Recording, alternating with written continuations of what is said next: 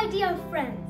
Today we are here with a video on the occasion of National Science Day, which is celebrated in India since 1987 on February 28 every year.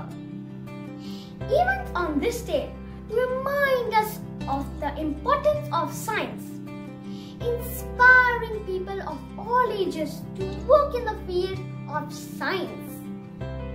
National Science Day is also known as Rashtriya Vigyan Divas. It is celebrated to mark the discovery of Professor Raman's work on the scattering of light by liquids. Of course, it was the one which fetched him and our country the Nobel Prize in Physics. And this work to be known as the Raman effect. So today I am here with a short and simple science experiment for you all fellow explorers as myself. After all, science is all about exploring things. So for this experiment, I have few very easily available things. I have a glass jar, a candle, a flat board and a matchstick. If you don't have a flat board, you can use a plate. This activity is called candle burning experiment. So let's start. First, we take a candle and fix it on a flat surface. Here I am taking a flat board to keep it even. Then I lit the candle up with a matchstick. What do we see? We see that the candle continues to burn as there is a fresh air available. By fresh air, I mean oxygen. Now I am going to cover this candle with a glass.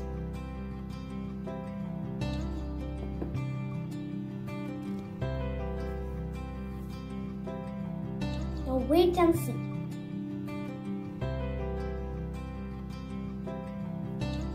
What do you see?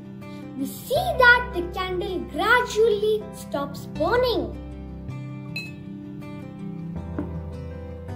It extinguishes.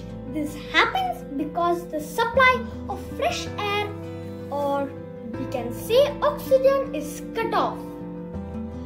When all the oxygen trapped inside the glass jar is used up, the candle stops burning. So friends, what do we learn from this experiment? This experiment clearly helps us to understand that we need oxygen for burning. If we stop the supplying of oxygen, the burning process also stops.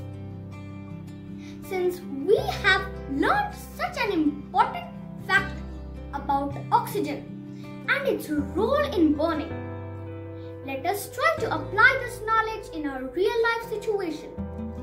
Let's imagine if someone catches on fire, we can use our learning to save the person or ourselves too. So, what do we do?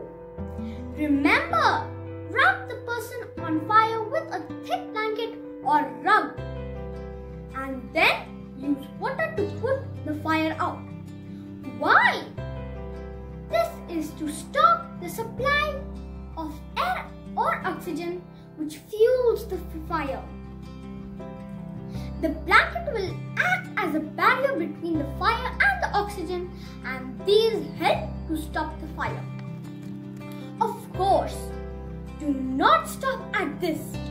Call 998 for immediate ambulance support or 997 for fire department in case if it's a big accident. So friends, hope you all liked and learned something important from this video. Remember, it's not just about learning, but applying the learning in our day-to-day -day lives. If you liked the video, please click on like button. Do share it with your friends and family because that's what science is all about. Making our lives more meaningful and easy. Bye-bye.